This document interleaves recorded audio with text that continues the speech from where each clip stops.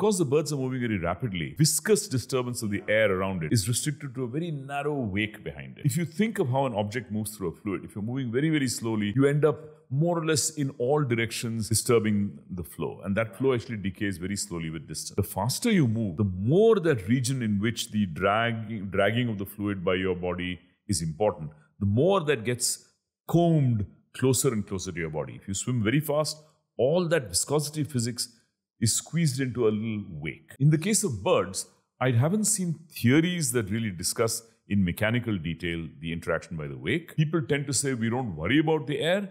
We just know that the birds have a preferred speed because of the balance between their flapping their wings and the drag with the air. They interact with each other not so much by momentum exchange through the air, as by perceptual interactions where they change their moment they turn. So people tend to write down dry active matter models to describe birds in the air, but on some time scale, I think they're going to have to worry about the fluid.